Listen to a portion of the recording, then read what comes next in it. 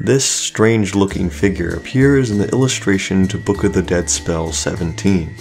It is a long and complex spell mentioning many gods, some of them very obscure. The currently accepted view among Egyptologists is that the figure represents Medjed, whose name means the smiter. In the text of the spell we read, I know the name of that smiter among them, who belongs to the house of Osiris, who shoots with his eye yet is unseen.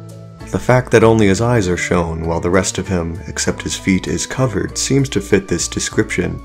Unfortunately, nothing else is known about this god. John Taylor, Exhibit Curator, British Museum. Okay, make it stop please, this is getting too real. You seriously cannot make this stuff up. I might be a little late to this story, but yes, if you have been on the internet lately, this shape should likely mean, well, something to you.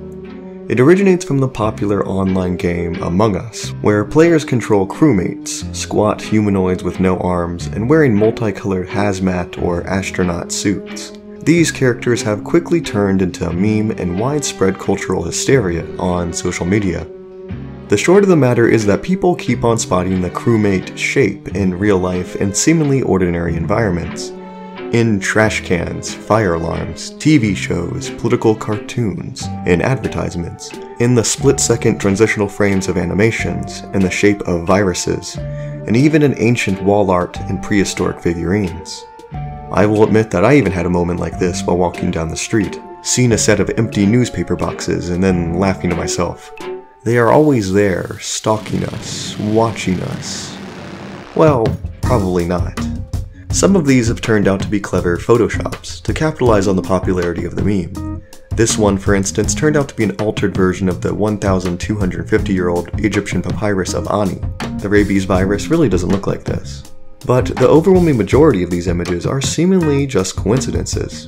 Trash cans and fire alarms were probably not designed with the intent to resemble video game characters.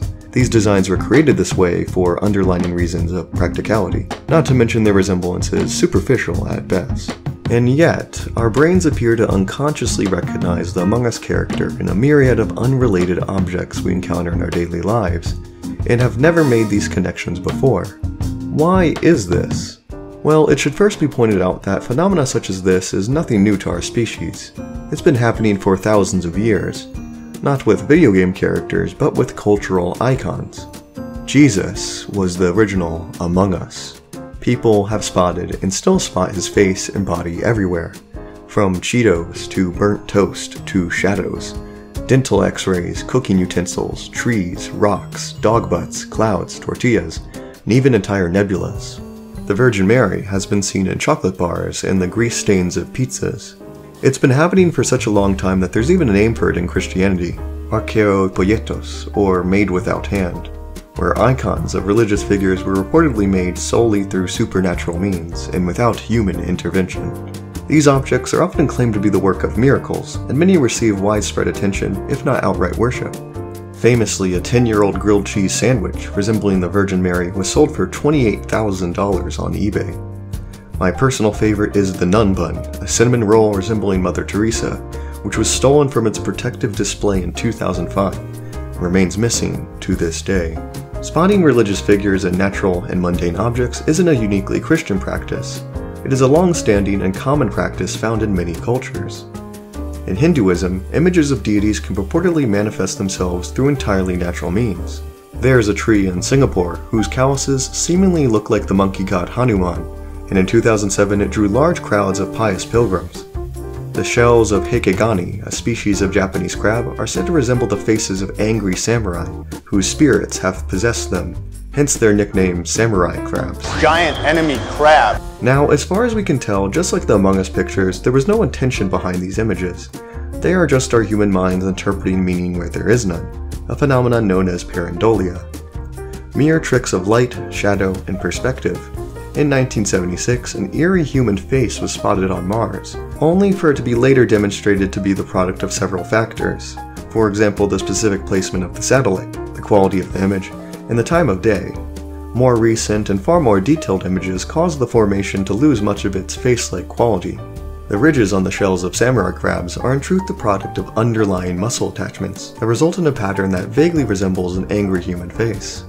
And the fossil evidence reveals that the backs of these crabs look like this long before humans even evolved faces for it to resemble. As we can see, the human brain is an expert at spotting faces, eyes, and silhouettes, and this appears to be a product of our evolution.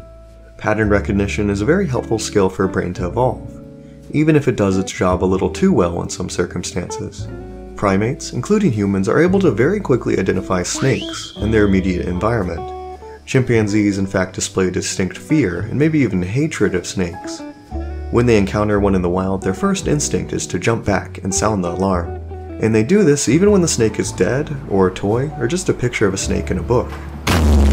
Some scientists have put forth the snake detection hypothesis to explain this instinctual behavior. Some snakes are venomous and could easily kill an individual if they are accidentally stepped on or touched. As a result, the primate brain evolved to rapidly detect the snake shape in their environment, and quickly react if that shape were detected in the underbrush. You can never be overly cautious.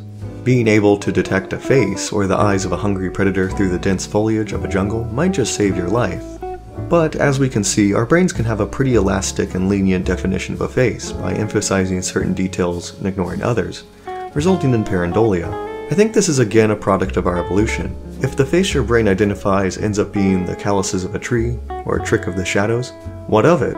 No harm done. Like snake detection, it is better to overreact in a false alarm than underreact when it actually counts. As we go about our day, our brains are constantly searching for possible threats in our environments. One of them being the faces of other humans, who could possibly be enemies wanting to do us harm. Capuchin monkeys, for example, have the ability to identify members of their own group from complete strangers when given a set of pictures, much in the same way we can spot our own family members and friends in a photograph.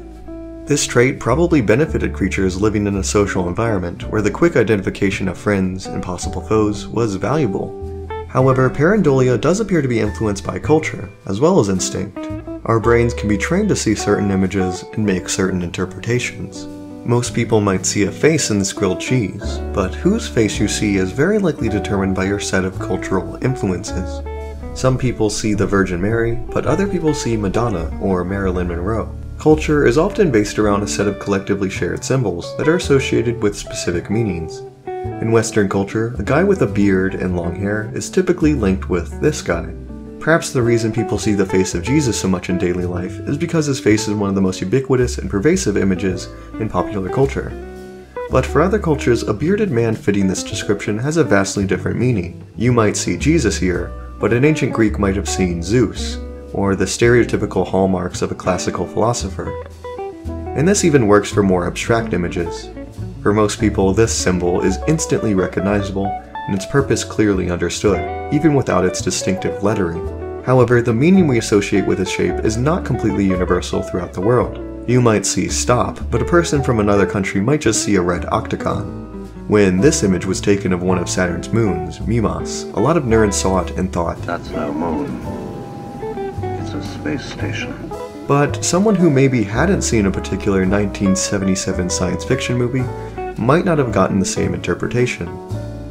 Perhaps most relevant to our discussion is this symbol, the cross has a very significant meaning to many people around the world, despite it being a relatively simple shape, two lines intersecting one another.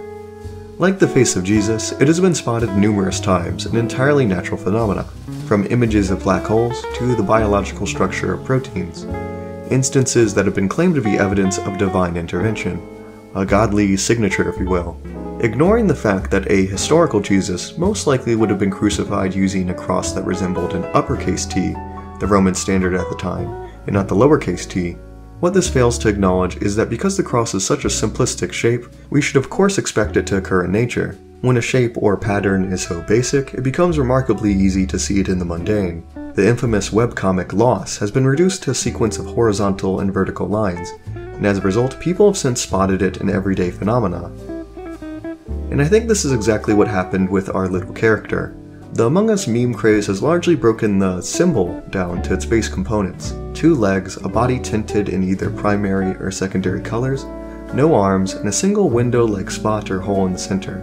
Our collective brains reduce their already pretty simplified shape so much that we see them everywhere. Many of the popular examples don't even match all the criteria of this base template, but we forgive them for it when they meet not all, but a few of the criteria. And much like Jesus, the ubiquity of the character, made popular by streamers and Let's Players, made it a pretty universally shared and familiar symbol among the culture of the internet. Put them together, mass hysteria. You often see what you want to see, or at least what your culture has trained and influenced your brain to see. And with that, thank you so much for watching. I hope you enjoyed this episode of Trey the Explainer, and I will see you next time, hopefully for a longer installment.